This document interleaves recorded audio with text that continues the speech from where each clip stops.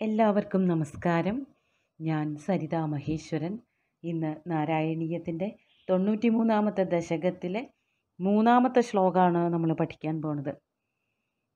കഴിഞ്ഞ ശ്ലോകത്തിൽ പറഞ്ഞു നിർത്തിയത് ഈ ലൗകികമായ ബന്ധങ്ങളിൽ നിന്നും മുക്തി കിട്ടണമെങ്കിൽ ചിലപ്പോഴൊക്കെ ചില ഉപായങ്ങൾ കണ്ടെത്തേണ്ടതായിട്ട് വരും. ആ ഉപായങ്ങൾ ആചാര്യന്മാരിൽ നിന്ന് തന്നെ കിട്ടിയാൽ വളരെ നല്ലതാണ്. അങ്ങനെയുള്ള ഭക്തന്മാർ മോക്ഷത്തിലേക്ക് എത്തിച്ചേരുന്നു എന്നാണ് സൂചിപ്പിച്ചത്. ഈ ആചാര്യന്മാർ ആരാണ് എന്നുള്ളതാണ് അടുത്ത ശ്ലോകത്തിൽ പറഞ്ഞു തുടങ്ങുന്നത് അങ്ങനെ ഈ ദശകത്തിലെ അവസാനത്തെ ശ്ലോകം വരെ ഓരോരോ ഗുരുക്കന്മാരെ പറ്റി വർണിക്കുകയാണ് ചെയ്യണത്. ഇന്നലെ തന്നെ നമ്മൾ സൂചിപ്പിച്ചിരുന്നു ഗുരുക്കന്മാർ എന്നുള്ളത് കൊണ്ട് പണ്ഡിതന്മാരെന്നൊന്നും അല്ല ഉദ്ദേശിക്കുന്നത് നമുക്ക് ചുറ്റും കാണപ്പെടുന്ന എന്തും ഗുരുവാകും എന്നാണ്. അതാണ് അടുത്ത ശ്ലോകത്തിൽ തുടങ്ങണത് തന്നെ. മേൽപ്പത്തൂർ അങ്ങനെ പറഞ്ഞാണ് തുടങ്ങണത്. ഭഗവാനെ അങ്ങയുടെ കാരുണ്യം വന്നു ചേർന്നാൽ ആരൊക്കെ ഗുരുവല്ല? എന്തിൽ നിന്നും നമുക്ക് പാഠങ്ങൾ പഠിക്കാനുണ്ടാവും? അതാണ് പറഞ്ഞു തുടങ്ങണത്. നമുക്ക് ശ്ലോകം നോക്കാം.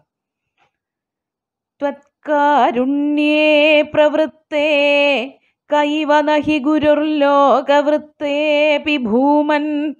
ഗുരുർലോകവൃത്തേപി ഭൂമൻ സർവാക്രാന്താപി ഭൂമിർനഹി ചലതി തതസത്ക്ഷമാം ശിക്ഷയേയം ഗൃഹീയാമീശ തത്തദ്വിഷയപരിചയേപ്യപ്രസക്തിം സമീരാത് വ്യാപ്തത്വം ചാത്മനോ മേ ഗഗനഗുരുവശാദ്ഭാതു നിർലേപതാച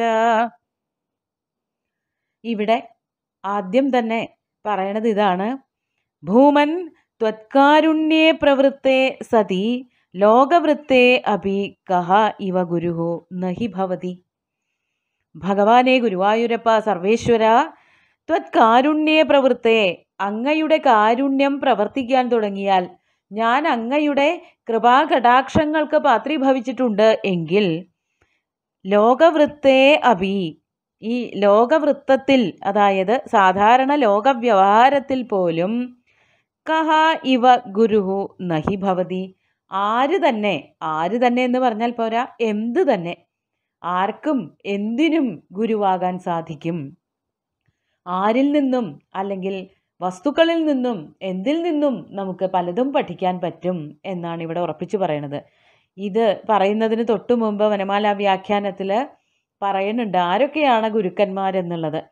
പൃഥിവീ വായുരാകാശമാപോഗ്നിശ്ചന്ദ്രമാരവി.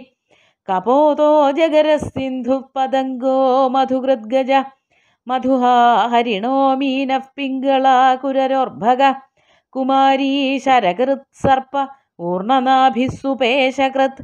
ഇങ്ങനെയാണ് ഇരുപത്തിനാല് ഗുരുക്കന്മാർ പൃഥിവി വായു ആകാശം ആപസ് ആപം എന്ന് പറഞ്ഞാൽ വെള്ളം. അഗ്നി ചന്ദ്രൻ സൂര്യൻ കപോതം അജഗരം. അജഗരം എന്ന് പറഞ്ഞാൽ പെരുമ്പാമ്പ് സിന്ധു. സിന്ധു കടലാണ്.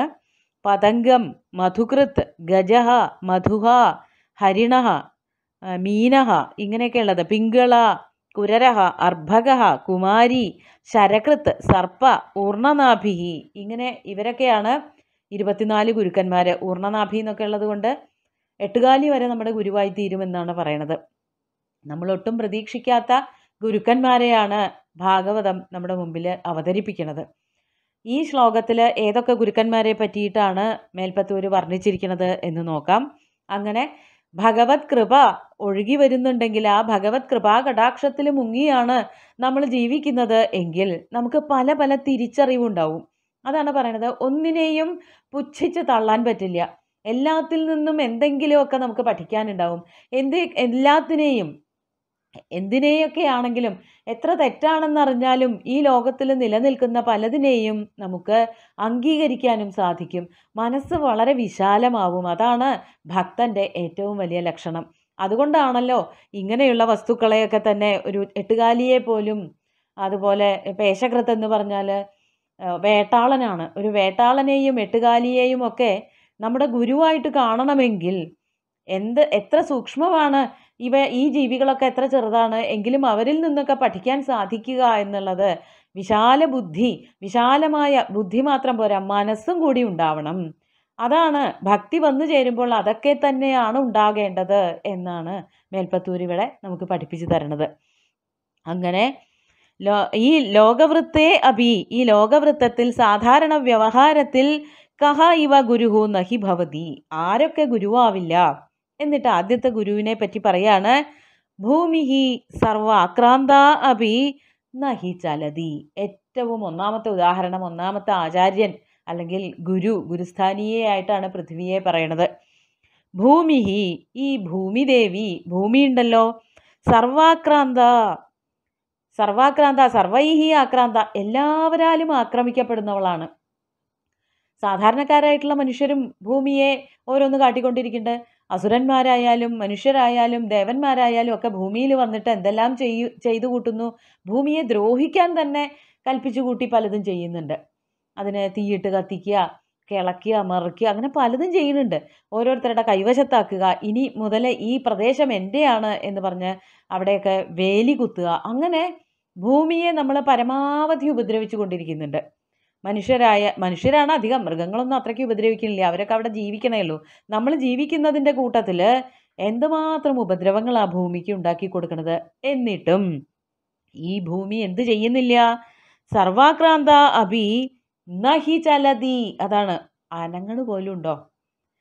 നമ്മൾ ഇത്രയൊക്കെ അങ്ങോട്ട് ചെയ്തിട്ടും ഭൂമി നമ്മളെ ഒന്നും ചെയ്യുന്നില്ല. നമ്മൾ സാധാരണ ഒരാളെ നമ്മൾ എന്തെങ്കിലുമൊക്കെ ചെയ്താൽ കുറച്ച് കഴിഞ്ഞാൽ അവർ തിരിച്ച് പ്രതികരിക്കാൻ തുടങ്ങും. പക്ഷേ ഭൂമി അങ്ങനെയൊന്നും ചെയ്യുന്നില്ല. ഭൂമിക്ക് അതുകൊണ്ട് തന്നെ അചല എന്ന് പേര് ഉണ്ട് ചലിക്കാത്തവളാണ്. ഒരു തരത്തിലും നമുക്ക് പ്രതികരിക്കുകയില്ല അത് വിചാരിച്ചിട്ട് ഭൂമിക്ക് ഭൂമിയുടേതായ ചലനങ്ങളില്ല എന്നോ ഭൂകമ്പങ്ങളില്ല എന്നൊന്നും അല്ല പറയണത്. പക്ഷെ അതൊന്നും നമ്മൾ അങ്ങോട്ട് ചെയ്യണതിന് പകരമായിട്ട് ചെയ്യണതൊന്നുമല്ല. അപ്പോൾ ഈ ഭൂമിയിൽ നിന്ന് ഞാൻ പഠിക്കേണ്ടത് എന്താണ് എന്നാണ് മേൽപ്പത്തൂര് പറയണത്. തതഹ അതിൽ നിന്ന് ഭൂമിയുടെ ആ നിശ്ചലത്വത്തിൽ നിന്ന് സക്ഷമാം ശിക്ഷയേയം. ഞാൻ ഒന്നാം തരം ക്ഷമ എന്താണ് എന്നുള്ളത് പഠിച്ചുകൊള്ളാം.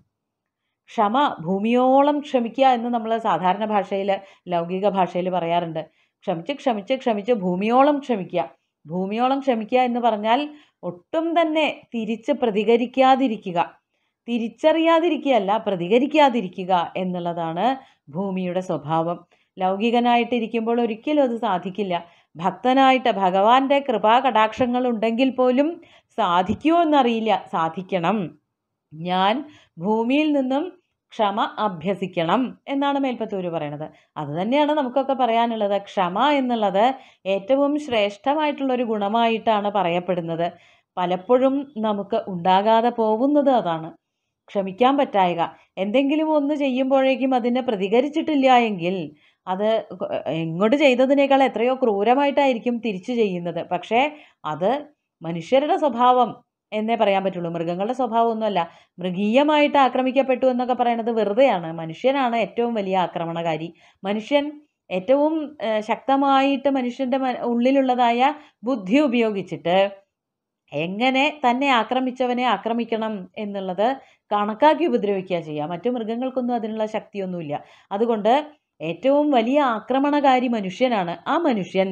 ക്ഷമ പഠിക്കേണ്ടിയിരിക്കുന്നു. എവിടെ നിന്ന് പഠിക്കണം? വേറെ എവിടെയും പോയി പഠിക്കേണ്ടതില്ല. ഭൂമിയെ തന്നെ കണ്ടു പഠിച്ചാൽ മതി എന്നാണ് ഭാഗവതം നമ്മളെ പഠിപ്പിച്ചു തരുന്നത്. എത്ര വലിയൊരു പാഠാണ് എന്നുള്ളത് നമ്മൾ തിരിച്ചറിയേണ്ടിയിരിക്കുന്നു. ഇനി സത്ക്ഷമാം ശിക്ഷയേയം. ആ ഭൂമിയിൽ നിന്നും ഞാൻ ക്ഷമ അഭ്യസിച്ചു കൊള്ളാം അടുത്തത്. തത്തദ് വിഷയപരിചയേ അപി അപ്രസക്തിം ഈശ സമീരാത് ഗൃഹീയാം തത്തദ് വിഷയപരിചയം തത്തദ് വിഷയങ്ങൾ അതത് വിഷയങ്ങൾ ഏതൊരു വിഷയത്തിൽ ചെന്ന് മുട്ടിയാലും അതുമായിട്ടൊരു ബന്ധം നമുക്കുണ്ടാവും. ഇത് കഴിഞ്ഞ ശ്ലോകത്തിൽ പറഞ്ഞു ഒരു പ്രത്യേക ദേശത്ത് വസിക്കുക ഒരു പ്രത്യേക വീട്ടിൽ താമസിക്കുക പ്രത്യേക വസ്ത്രം ഉപയോഗിക്കുക പ്രത്യേക വാഹനം ഉപയോഗിക്കുക ഒരു പ്രത്യേക ജോലി സ്ഥലത്ത് പോയിക്കൊണ്ടിരിക്കുക. ഇതുമായിട്ട് പിന്നീട് നമുക്ക് ബന്ധങ്ങൾ ഉണ്ടായിക്കൊണ്ടേയിരിക്കും. പക്ഷേ അതില്ലാത്തൊരാളുണ്ട്. എത്ര തവണ ആ വസ്തുക്കളുമായിട്ട് ഇഴുകിച്ചേർന്നാലും അതുമായിട്ട് സ്ഥായിയായിട്ട് ഒരു ബന്ധവും സ്ഥാപിക്കാത്ത ഒരു വസ്തു ഉണ്ട് ഭൂമിയിൽ അതെന്താണ് തത്തദ് വിഷയപരിചയേ അഭി. അതത് വിഷയങ്ങളോട് സമ്പർക്കമുണ്ടായിട്ടും. അതാണ് തത്തദ് വിഷയപരിചയേ അഭി അപ്രസക്തിം. ഒരു സമ്പർക്കവും ഒന്നിനോടും ഒട്ടും സംസർഗമില്ലാതെ ഇരിക്കുന്ന ഒരാളാണ് ഈശ. സമീരാത് ഗൃഹീയാം ആ പാഠം ഞാൻ സമീരാത് സമീരൻ എന്ന് പറഞ്ഞാൽ കാറ്റാണ് വായു. വായുവിനെ നോക്കി പഠിച്ചോളാം. വായു ചിലപ്പോൾ നല്ല വാസന കൊണ്ടുവരും ചിലപ്പോൾ ദുർഗന്ധവാഹിയായിട്ടും വരും. ചിലപ്പോൾ വാസനയൊന്നും ഇല്ലാതെ ദുർഗന്ധവും ഇല്ലാതെ വീശിക്കൊണ്ടിരിക്കും. എവിടെയാണോ ചെന്ന് പറ്റുന്നത് അതിന്റെ ഗന്ധവും ഉൾക്കൊണ്ട് അല്ലെങ്കിൽ തണുപ്പ് ഉൾക്കൊണ്ട് വരുന്നതാണ് വായു. പക്ഷേ സ്ഥിരമായിട്ട് അത് അതിനെ വഹിക്കുന്നില്ല. കുറച്ചു നേരം കഴിഞ്ഞാൽ ആ ഗന്ധം പോവും പിന്നെ വേറൊരു ഗന്ധമായിരിക്കും. അപ്പോൾ ഒരു ഗന്ധത്തിനെ പോയി സ്പർശിച്ചു ആ ഗന്ധത്തിൽ തട്ടി എന്നുള്ളത് കൊണ്ട് കാറ്റ് വീശുന്നിടത്തോളം കാലം ആ ഗന്ധം നമുക്ക് കൊണ്ട് തരണില്ലല്ലോ അതുകൊണ്ടാണ് ഏതൊരു വസ്തുവിലും സംസർഗമുണ്ടായാലും അതിനെ എന്നേക്കുമായിട്ട് സ്വീകരിക്കായക. അപ്പോൾ ചെന്ന് പറ്റി അപ്പോൾ കുറച്ച് നേരത്തേക്ക് ആ ഒരു സംസർഗം ഉണ്ടാവുക അതിന്റെ ഗന്ധം നമുക്ക് തരിക. അത് കഴിഞ്ഞാൽ അത് കഴിഞ്ഞു. മുല്ലപ്പൂവിന്റെ വാസന ആ മുല്ല വിരിയണ സമയത്ത് കാറ്റ് നമുക്ക് കൊണ്ടുതരും. കുറച്ച് കഴിഞ്ഞാലും കൊണ്ടുതരും എന്ന് വിചാരിക്കുന്നത് തെറ്റാണ്. കാറ്റിന് അങ്ങനെ ഒരു സ്വഭാവമില്ല. അതുപോലെ കാറ്റിനെ പോലെ വായുവിനെ പോലെ ഒന്നിനോടും സംഘം ഇല്ലാതിരിക്കുക. എന്നാൽ നോക്കുമ്പോൾ സംസർഗം ഇല്ലേ എന്ന് ചോദിച്ചാൽ സംസർഗമുണ്ട്. പക്ഷേ അത് സ്ഥായിയായിട്ട് ഉണ്ടാകാതിരിക്കുക. അതാണ് ഭക്തന്റെ മറ്റൊരു ലക്ഷണം. അത് ഞാൻ സമീരാത് ഗൃഹീയാം ഞാനത് വായുവിനെ നോക്കി മനസ്സിലാക്കിക്കൊള്ളാം. പഠിച്ചോളാം. സംസർഗമില്ലായ്മ ഞാൻ പഠിച്ചോളാം എന്നർത്ഥം. ഈശ ഭഗവാനെ അത് ഞാൻ സമീരാത് ഗൃഹീയാം എന്നിട്ട് അപ്പോൾ രണ്ട് കാര്യങ്ങളായി. ഒന്ന് ഭൂമിയെ നോക്കിയിട്ട് ക്ഷമ പഠിക്കുന്നു. മറ്റൊന്ന് വായുവിനെ കണ്ടിട്ട് സംസർഗമില്ലായ്മ ഞാൻ പഠിച്ചോളാം എന്നുള്ളത്. അടുത്തത് എന്താണ്? ആത്മനഹ വ്യാപ്തത്വം. ആത്മാവിന്റെ വ്യാപ്തി അതായത് ആത്മാവ് എല്ലാത്തിലും ഉള്ളതാണ് എന്ന് വ്യാപിച്ചു കിടക്കുന്നതാണ്. നമ്മൾ വിചാരിക്കുന്നത് നമ്മുടെ ഓരോരുത്തരുടെ ശരീരത്തിലും അകത്ത് മാത്രമാണ് ആത്മാവ് ഉള്ളത് എന്നാണ്. അങ്ങനെയല്ല. ഇവിടെ ചുറ്റും വ്യാപിച്ചു നിൽക്കുന്നുണ്ട് ആത്മാവ്. അതാണ് ആത്മനഹ വ്യാപ്തത്വം ച നിർലേപത ച. മറ്റൊരു വ്യാപിച്ചു നിൽക്കുന്നുണ്ട് അതോടൊപ്പം തന്നെ അത് നിർലേപമാണ്. നിർലേപം എന്ന് പറഞ്ഞാൽ അതിൽ ഒന്നും ലേപനം ചെയ്യാൻ പറ്റില്ല. ആത്മാവ് നമ്മുടെ ഉള്ളിൽ കുടികൊള്ളുന്നു എന്നേ ഉള്ളൂ. നമ്മുടെ സ്വഭാവമൊന്നും ആത്മാവിനില്ല. അതാണ് അതാണിവിടെ അതിലേക്ക് ഒന്നും പറ്റുകയില്ല. അതിലേക്ക് ഒന്നും ചേർക്കാൻ പറ്റില്ല. നമ്മൾ ഒന്നിലേക്കും പോയി ഇടപെടാതിരിക്കുക അതിന്റെ അത് നമ്മളിൽ പറ്റി പിടിക്കാതിരിക്കുക. അതാണ് സംഘം അല്ലെങ്കിൽ സംസർഗം. ഇനി ഒന്നിനെ എടുത്ത് ഈ മറ്റൊന്നിലേക്ക് ചേർക്കുക അതാണ് ലേപനം. അതായത് നമ്മൾ സ്വയം ചെന്ന് ഒന്നിനോട് ചേരുക സംഘം.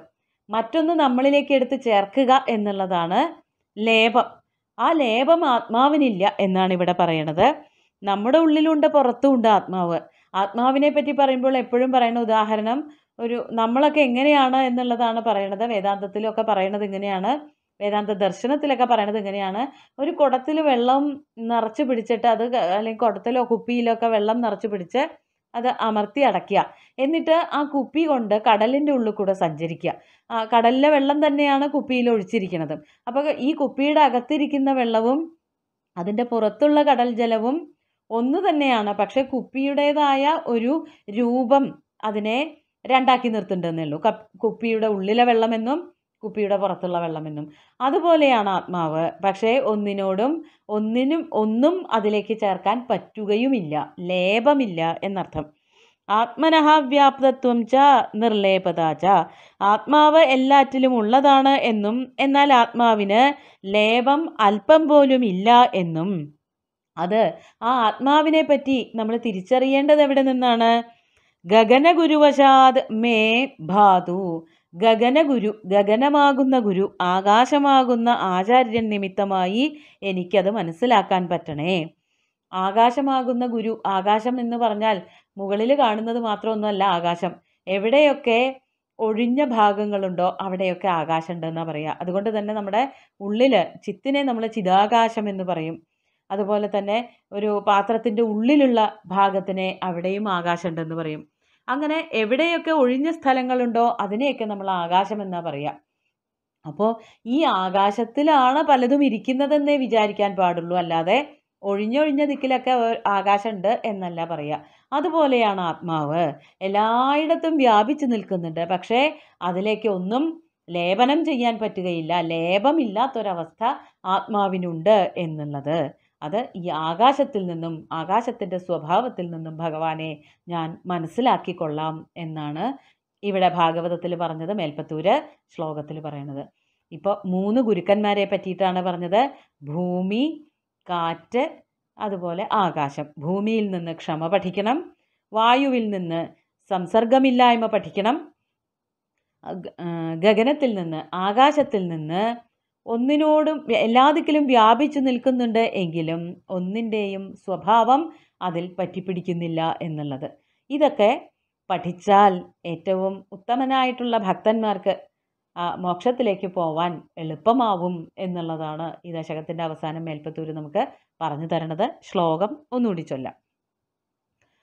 ത്വത്കാരുണ്യേ പ്രവൃത്തേ കൈവ നഹി ഗുരുർലോകവൃത്തേപി ഭൂമൻ സർവാക്രാന്താപി ഭൂമിർനഹി ചലതി തതഃ സക്ഷമാം ശിക്ഷയേയം ഗൃഹീയാമീശ തത്തദ്വിഷയപരിചയേപ്യപ്രസക്തിം സമീരാത് വ്യാപ്തത്വം ചാത്മനോ മേ ഗഗനഗുരുവശാത് ഭാതു നിർലേപതാച ഇനി മറ്റു ഗുരുക്കന്മാരെ പറ്റി വെള്ളം അഗ്നി ചന്ദ്രൻ സൂര്യൻ പ്രാവ് തുടങ്ങിയിട്ടുള്ളതൊക്കെ അടുത്തടുത്ത ശ്ലോകങ്ങളിൽ വരും.